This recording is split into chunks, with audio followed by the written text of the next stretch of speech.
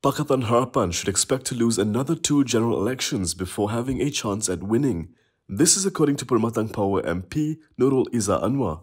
In an interview with Sinar Harian, Nurul Iza said it would take time to craft a new product for the public, especially those who are unhappy with Harapan's short stint in Putrajaya.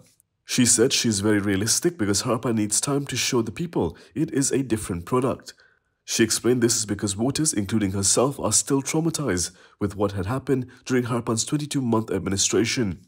Nurul Izzah predicted Harapan to suffer losses during the next general election, but so too will UMNO. The key to this were fence-sitters who she believed did not turn up to vote during the Malacca and Johor state elections recently. UMNO and its BN coalition won both elections handsomely.